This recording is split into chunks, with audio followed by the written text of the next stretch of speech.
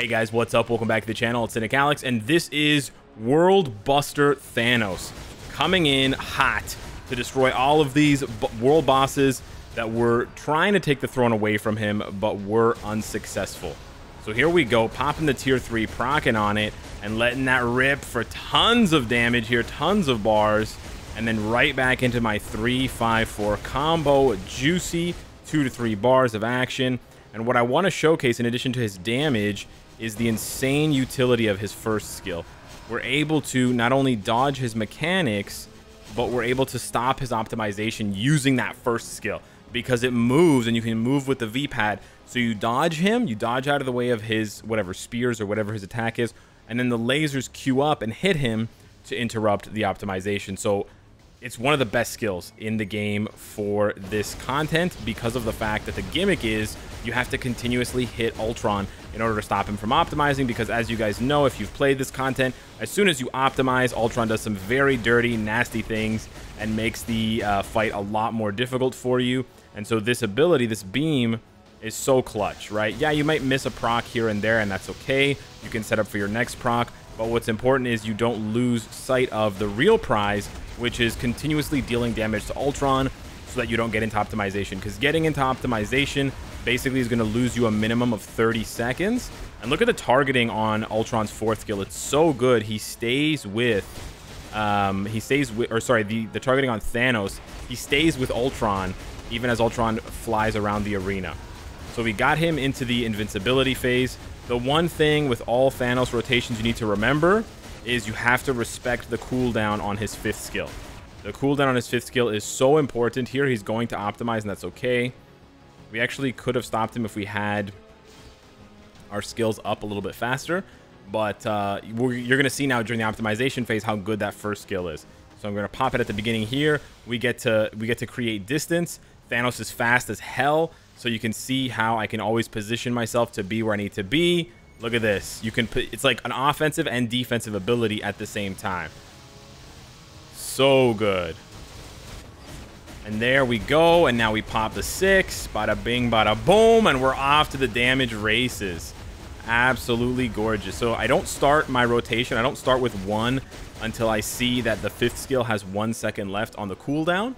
If you start your two cancel, one cancel, three too fast, you can end up not having or not being able to press five soon enough, and then you'll proc a little bit early. So I always wait for five to have one second, and then I do uh, two, one, three, five, four. And then you'll also notice that I've been doing 2, 1, 3, 4, 5 when I get to the tier 3 rotation, and that's because I find that it's a lot easier to cancel. There I shouldn't have canceled into 6 at all, but it's I find it a lot easier to cancel. Um, oh, I had to switch there. I was going to die. But it's a lot easier to cancel uh, out of the 5 into the 6 versus out of the 4. Okay. Give him a little punch, give him a little tickle here. And here you can see against these spears, how good this laser attack is. Because look at that. I got my distance, and I was also able... So, like, I dodged the attack, but I was also able to then punish him and interrupt his next uh, phase. Now, I think we're going to finish him here. Oh, yes. So, 90 seconds left on stage 9, and I could probably clean that up and do it even faster. But I have to say, for the sheer utility the sheer value of that first skill, Thanos is amazing for this fight amongst supervillains who often aren't that good. Because what I find for a lot of supervillains, although they can be really good for Infinity Ultron, don't get me wrong, and obviously players have climbed up beyond stage 24 because it's not a roadblock for all players, but a lot of the existing villains like Moonstone and Loki, they have a rotation that they do and then they wait for a few seconds. And that waiting is really bad and really helps Ultron optimize with the with that dead air, that dead space of two to three seconds. Thanos doesn't really have that. He's almost constantly dealing damage, which again is really good for the Ultron fight. But now I want to show you guys something a little bit different. I'm going to take Thanos up against Thanos. This is not necessarily difficult content, but what I want to show you is that his PvP passive actually has value in PvE and we can actually confirm this versus Thanos himself. Check this out. So, during the first nine bars of Thanos' health, he doesn't have any special buffs, but afterwards, he will have a buff that makes him debuff immune. And this Thanos applies a minus 60% all defense down, which is a lot of all defense down. So you would think that in the second phase, not having access to that all defense down would make Thanos deal less damage, our Thanos. But actually, he's going to deal more damage, as you'll see, which is really interesting. So check this out. So whatever, we're doing the, we're doing the fight here. We can basically tank all these attacks. I also have an extra tip for you if you're playing as Thanos. You can get hit. If you're using Thanos' leadership, you can get hit by some of the stage mechanics. Oh, I shouldn't have, I thought I had six ready. We're procking on five here, so we're not doing much damage. That's, that's okay. Here we go. We'll proc on six. But you can get hit by the stage mechanics like the tornado if using Thanos' leadership because it will trigger your heal. Just like Falcon does, except Falcon has to dodge. So you don't want to get hit by more powerful attacks like the actual boss does or like the meteors here. But those tornadoes don't really hit for much damage. So you can get hit by them safely and trigger the heal if you need it. But check out the damage. Check out how the damage is going to scale up now. Look at this. Whoa, the bars just start flying. They just start flying, my dude. And you know why? It's because Thanos has that little um, yellow uh, feather that remove all debuff. So I'm going to get that 80, I think it's an 80% damage increase because of that feather. Isn't that wild? Look at this. Really berserk damage. Like the fight goes by so much faster now. The second phase is so much faster than the first phase because of this. It's actually crazy. Look at that. Gone. Actually crazy.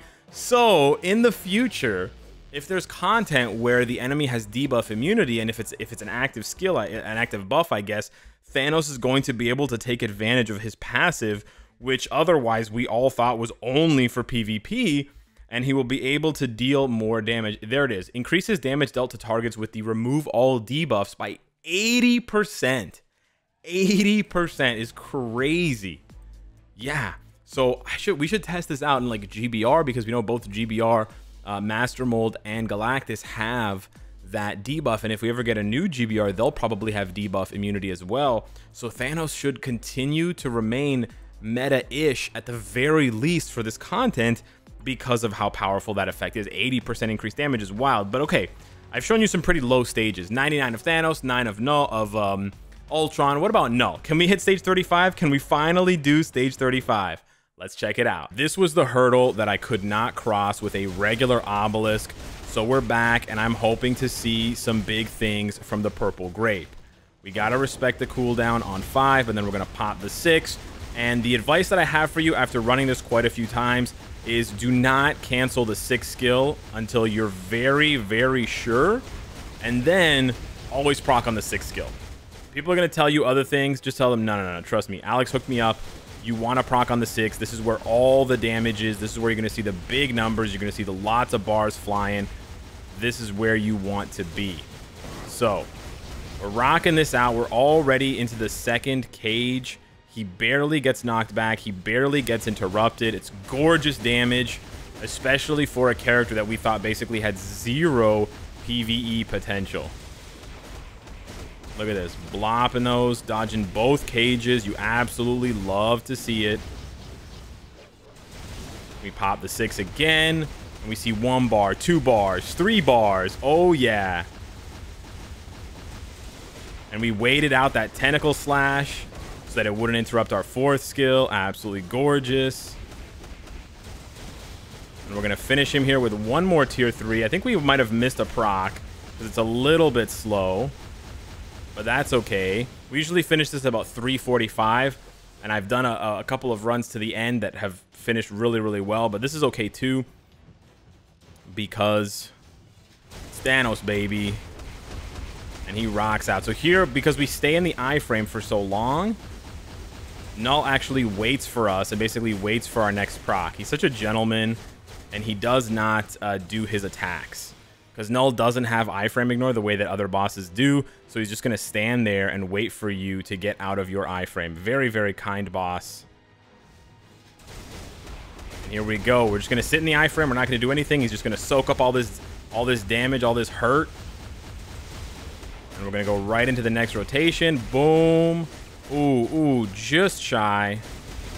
There we go. Use the co-op skill to get through, bro. He's he's flying. Very few characters, let me tell you this right now, very few characters are better in the second phase of Ult of Null versus the first phase. uh, Thanos is one of the few characters that's actually, in my opinion, better because this long iframe is so good for breaking up uh, his attacks and for allowing you to get your combos off faster and faster and faster. So you really have... Okay, there we didn't do too well. That's okay. We absorb a couple of hits from the old spikes. Alright. There we go. There's our combo, and we're ripping the damage here. Flying through the bars. Look at that. Look at the targeting on Fort. He doesn't stop. Look at the targeting on Fort. He does not stop. You love to see it.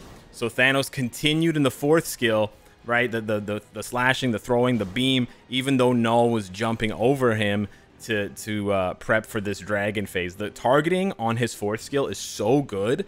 And the fact that the skill continues and doesn't get interrupted like a lot of other character skills do is actually so clutch. Okay, we're going to play this one a little slow. That damage was a little slow as well, but we're going to play this one a little bit slow. We could have popped the tier 3. There we get a nice little heal from those uh, circles. Actually, you know what? We are going to pop the tier 3. I lied. We're going to pop the tier 3 because we'll be able to charge it up again. This is not the ideal rotation, but look at this. We can move around. There's so much flexibility with his build. I love it. Absolutely love it. We delay this. No guard break. You love to see it. All right.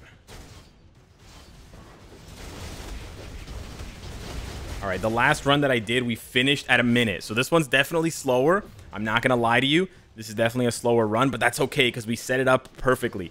Here we go. We wait for him. We pop the tier 3. Then we do our rotation with the 6 skill popping. Juicy 3, 4 bars. Then we dip out with the first skill.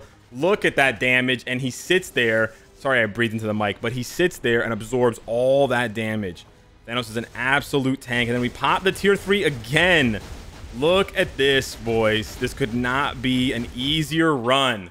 So smooth, so easy. I'm doing it while I'm talking, and I can actually improve that clear speed by about 30 seconds, and I'll show you guys um, a screenshot that I took that I posted on Discord. He can do this with a minute left, which means that he can climb. That's the really good thing. So he can climb with better supports. You can put in better strikers. Like I left out a little bit of wiggle room. For example, you can switch out Scourge or Thane with um, Hydra Cap to give you an extra 12% increased damage to villains, which is a huge bump. Uh, also, if we get any new villain uh, leaderships or supports, if Black Cat gets a tier 3 or a Transcendence, you can swap out Taskmaster or Mystique. You can also give him more Odin's Blessings because my Thanos only has two.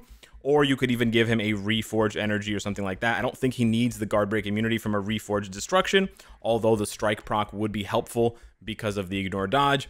But honestly, man, he's so strong I'm really liking it. He's not the best villain in the game, of course, but he is so strong in his own right. And I would honestly feel pretty comfortable taking this build into PvP and rattling off a couple of wins here and there. Not going to be as good as a full PvP build, but he is definitely one of those two-way characters, like Beast Mode said, that can get you, that can give you value on both ends of the game for PvE and PvP. So that's what the rest of the build looks like there.